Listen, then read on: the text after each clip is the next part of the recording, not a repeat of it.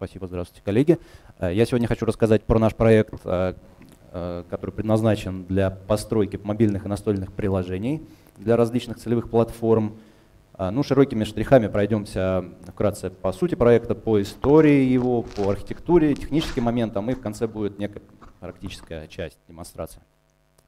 О себе вкратце. Я один из учредителей в компании Tau Технологии.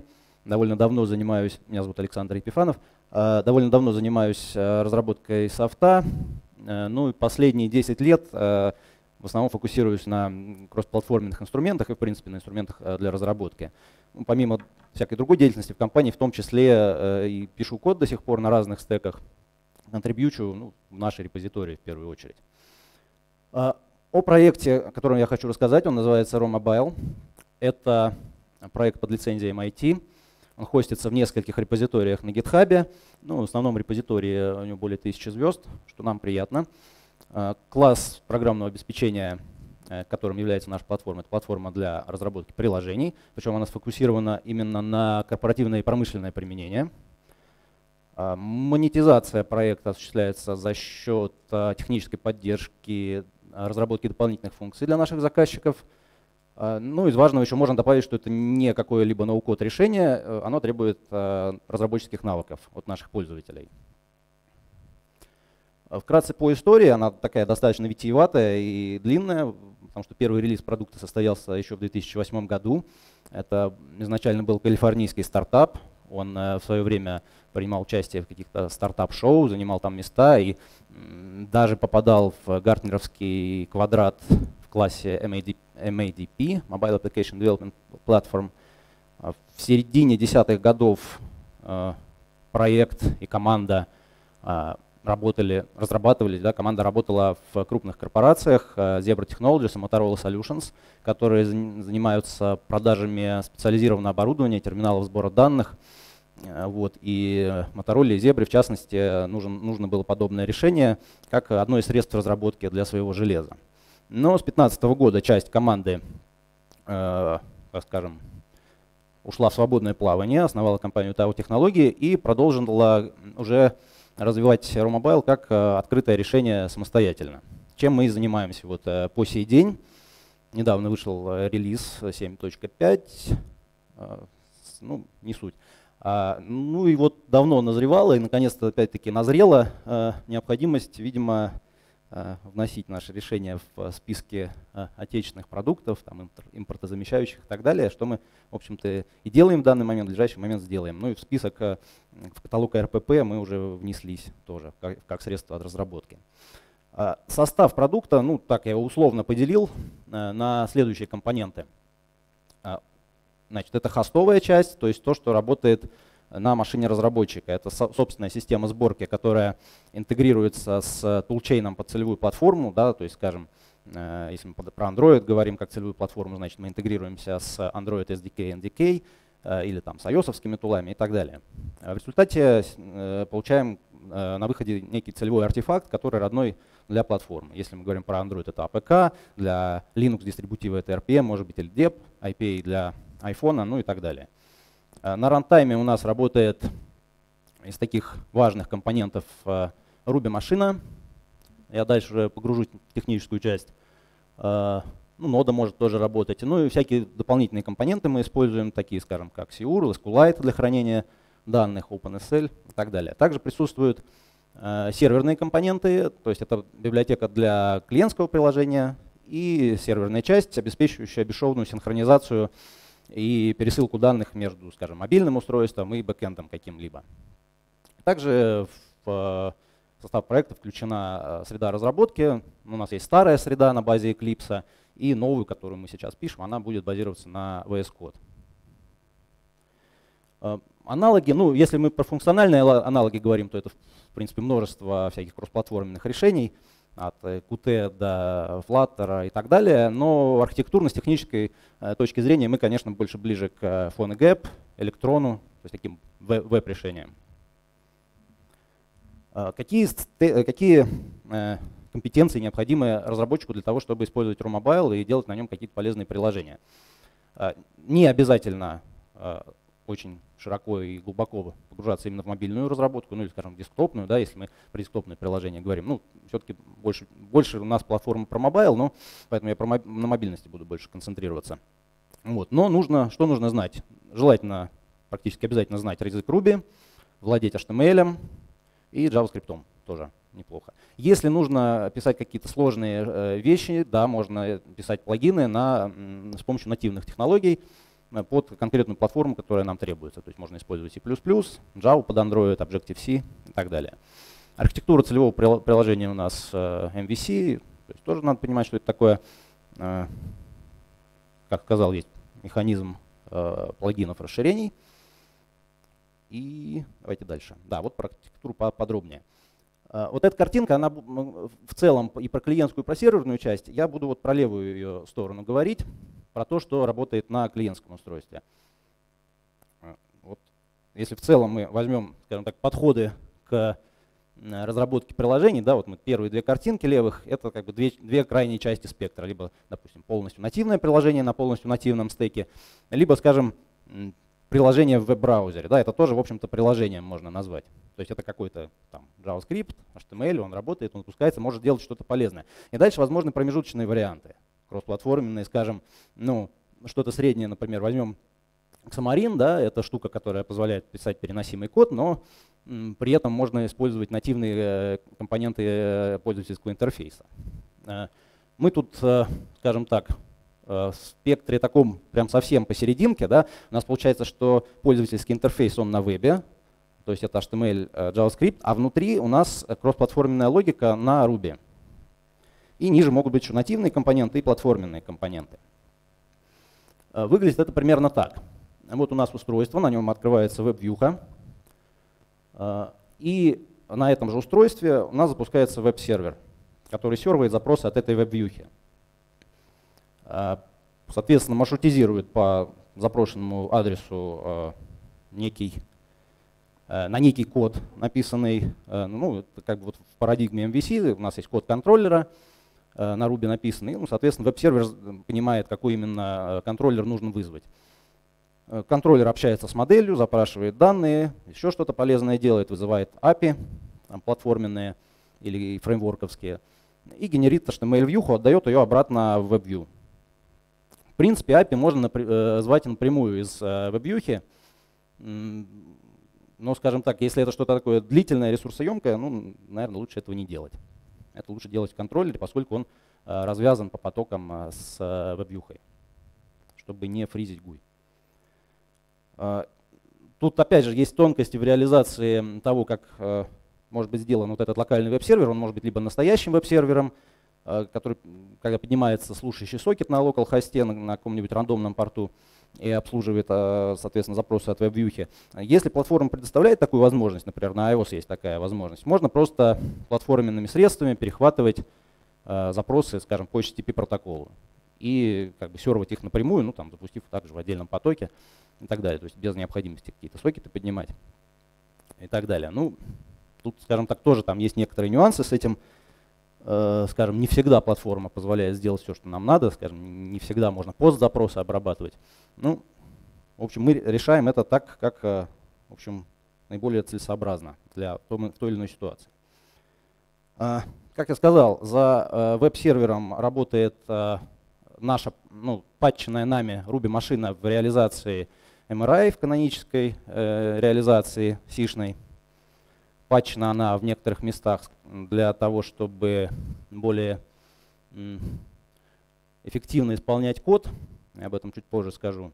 Но вообще говоря, архитектура, она позволяет, ну, не накладывает ограничения на то, чтобы это была это именно Ruby машина. То есть за веб-сервер мы можем поставить что угодно, там Lua, Python, Qt++, не принципиально. Но исторически так сложилось, что мы работаем именно с Ruby и, в общем, проблем с ним не испытываем. Далее.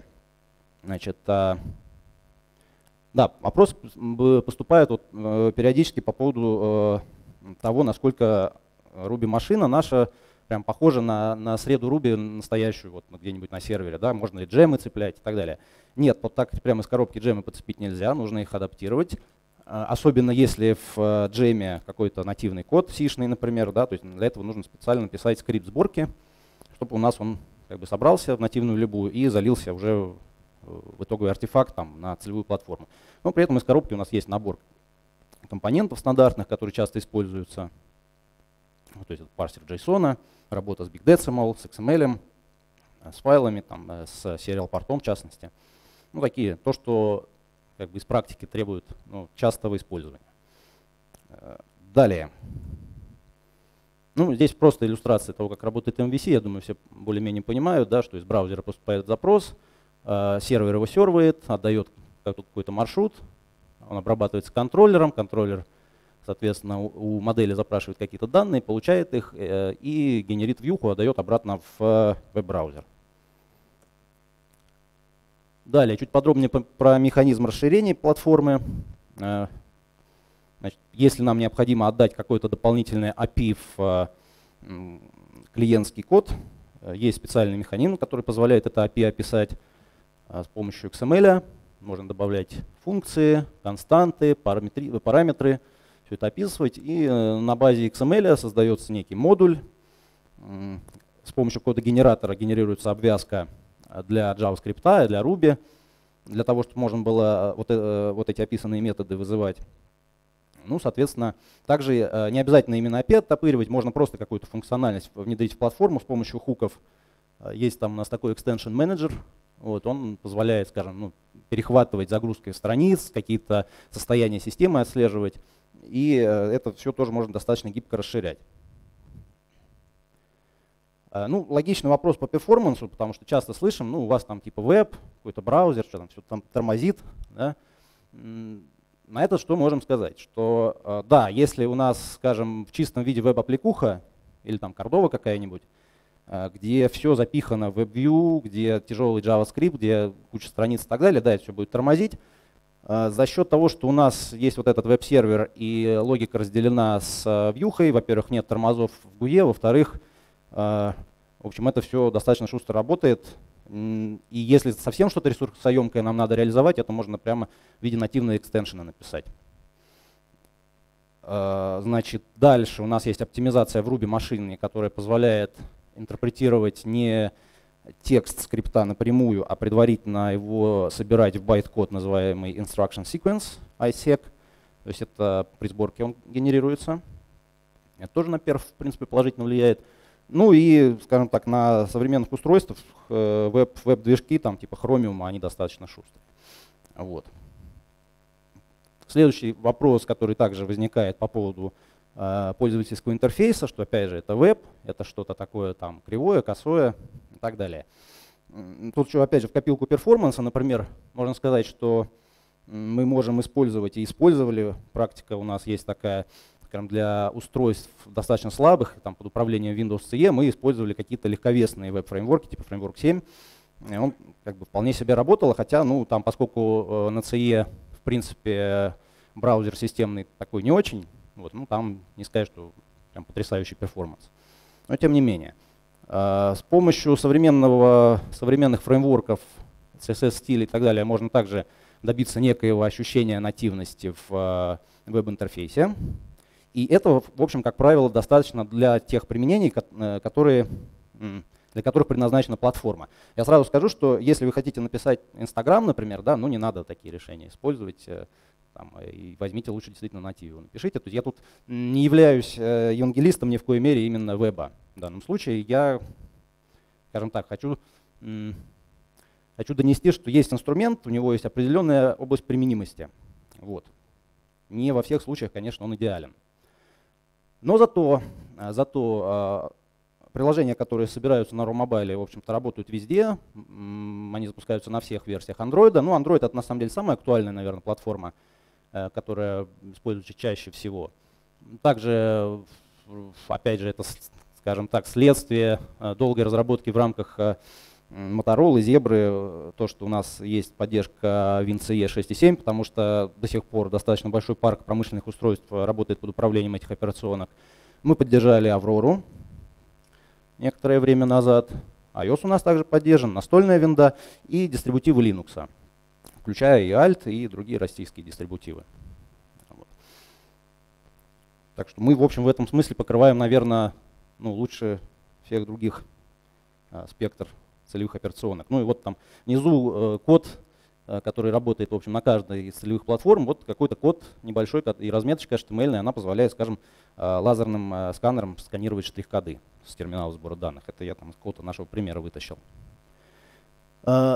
Есть еще функция, которая, скажем так, если нет необходимости использовать фреймворк полностью, э, есть возможность собрать его в виде э, библиотеки зависимости для нативного приложения, ну, скажем, э, артефакт для того, чтобы в нативный Gradle проект на Android его подцепить в виде либы. Это, кстати, из реального примера. Мы для заказчика это делали. У них было очень много какой-то логики написано на Ruby. Они захотели при этом получить нативный интерфейс, не переписывая эту логику. И для них мы вот сделали такое решение, сборка, сборка э, вот всего, что у нас есть, в том числе Ruby машинок, позволяющих запускать э, эту логику в, для, в нативном приложении. То есть э, отданы интерфейсы в натив для того, чтобы это можно было вызывать. Ну и, соответственно, как бы есть так, это один из режимов, скажем так, работы платформы. Компоненты, которые мы используем Внутри это, ну я уже перечислил, это Ruby машина, SQLite, а, Curl, OpenSSL. Также опционально можно вместо Ruby машины ноду использовать. А, ну, скажем так, все-таки Ruby используется чаще по практике. Внешне мы используем, скажем, Qt для нашего софтверного эмулятора. Он также используется для Windows приложений. Для серверной части а, Redis Э, ну, я не буду здесь э, на сервере останавливаться. Ну и, как я сказал, Eclipse VS Code для IDE. Так, кратенько по особенностям, э, именно связанных с бизнес-применением. Ну, тут, скажем так, на функциях защиты данных я особо останавливаться не буду. У нас тем более будет на OSD доклад на эту тему. Вот, кстати, пользуясь случаем, всех приглашаю. Ну, реализована часть, значит, некоторые функции, связанные с защитой данных, контролем целостности, целостности противодействием отладке, реверс-инжинирингу и так далее. Поскольку платформа она дата-ориентированная, есть встроенный ORM и возможность на лету синхронизировать а, данные между бэкэндом и клиентской частью, ну, потому что, в принципе, в корпоративной среде, э, скажем так, мобильное приложение — это там той или иной толстоты клиент просто к какому-то корпоративному заднику, это там CRM, может быть, еще что-то, что угодно. Вот, и это поэтому очень такая актуальная штука. Э, список API, который мы предоставляем, опять же, он э, завязан частично на э, применение в TSD-шках. То есть это беспроводная печать, скажем, для наклеечных принтеров, для сканирования штрих-кодов, работа с аппаратной клавиатурой, RFID и подобными функциями. Сферы, в которых применяется в продуктовом виде приложение на Румобайле – они различные, это и field сервис, эм, есть приложения с банкингом, связанные с страхованием, с логистикой, ритейлом и так далее. Вот там э, все вот эти картиночки, они на самом деле не просто так. Действительно, вот эти компании э, решения либо сейчас применяют в данный момент, либо применяли раньше. Часть из этих э, компаний также у нас, ну кто-то сам использует платформу, кто-то у нас на саппорте сидит из них. Так, если у нас еще есть время на практическую часть, да, чуть-чуть. Ну, скажем так, до кофе-брейка у нас еще минут 10 есть. Ага. За, за счет компактности предыдущих докладчиков. Понятно. Ну, я все равно постараюсь не отнимать сильно больше, чем э, как бы было оговорено. Э, фин, как бы финальной уже частью хочу просто практически показать, как э, в реальности делать приложение на Румобайле. Тут, скажем так, извините, что, извините за Windows, да, все-таки у нас тут конференция СПО. Да, да, ну все, все, все согласен, сакс и Маздай, все, все, все так. Но винда моя рабочая машина, как бы все это писалось с колес, э, мне так удобнее. Вот, а у нас как бы такое решение, чтобы было удобнее. А для Android, вот мы попробуем какой-нибудь Hello World для Android написать. Значит, из э, предустановленного у меня стоит Ruby 2.7, Android, андроидовский toolchain в виде SDK, NDK и тулов, э, и Qt 5.13, для которого в переменных Qt-dir, в общем, надо приписать в environment путь к нему все собралось. А значит, а что нам нужно? Нам нужно выкачать, э, в конце будут ссылочки. Э, У нас поставка, ну, клиентская часть называется Rhodos, соответственно, то, что без, без сервера.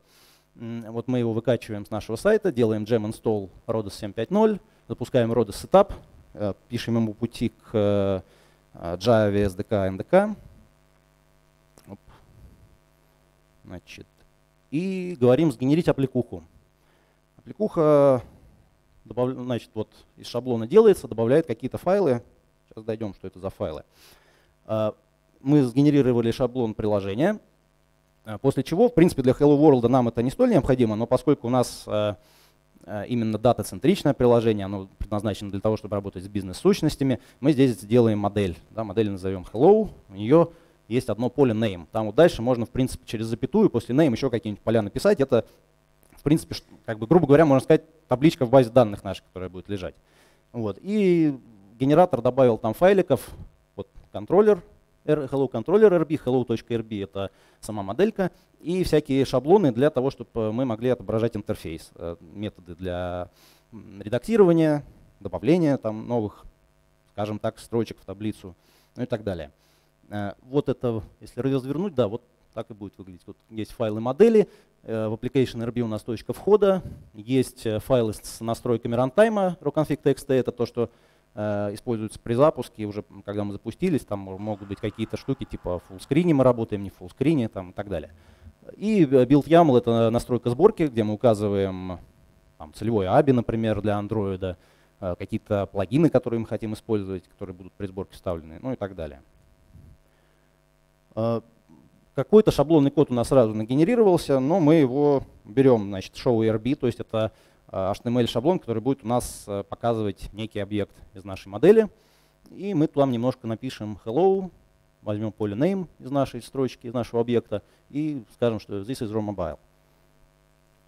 Что дальше делаем? Вот открываем как раз raw указываем точку входа, что мы будем запускать э, при старте наш вот этот вот hello, hello модель.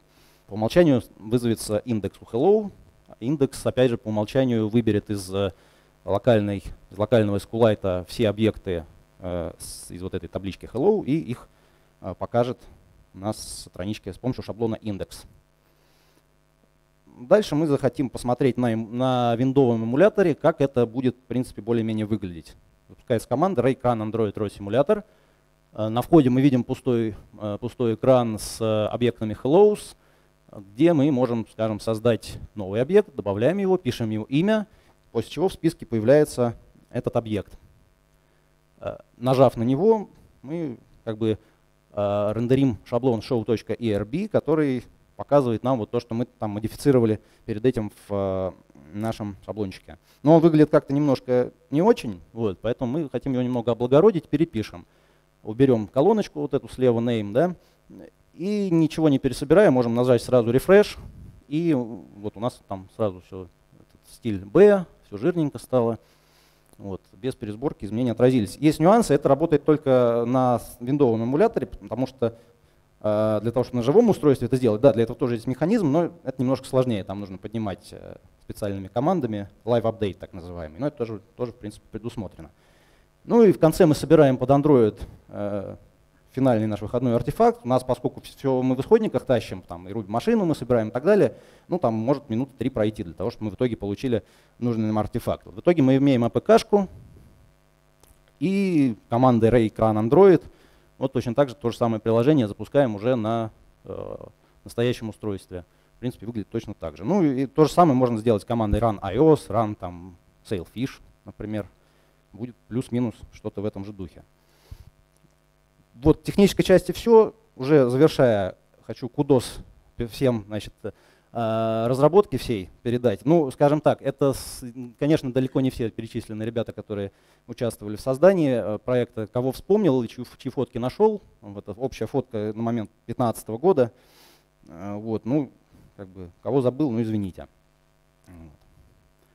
Ну, про нас тут вкратце, что могу сказать. Мы ТАО технологии с 2015 года работаем, вот как независимая компания, часть команды RoMobile, собственно, есть основатели ТАУ. Занимаемся, кроме э, open source проектов, заказной разработкой, R&D, э, заказной разработкой инструментария, компиляторов э, и всяких других сложных вещей. Прощение, на, на всякий напоминаю, что конференция все-таки про разработку. То есть Все. здесь Сорян, не про бизнес, да. не про политику. Да, да, не, это да. просто последний и слайд. На комментарии Все. осталось, наверное, минуты две, если они будут, и воп- на вопросы. Да, кофе-брейка.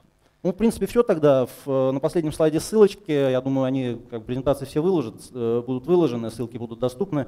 Э, там ссылки на репозитории основные, на уже готовые сборки для скачивания. Пожалуйста, можно загружать, есть контакты. Если есть вопросы, готов ответить. Да, здравствуйте. А вы случайно не участвуете с э, этой платформой в каких-нибудь а, проектной деятельности для школ? Вот сейчас очень много разных конкурсов. Вот, может быть, вы войдете в какой-нибудь из них, потому что это действительно интересно собирать под все вообще платформы, а детям как раз вот... С удовольствием бы вошли.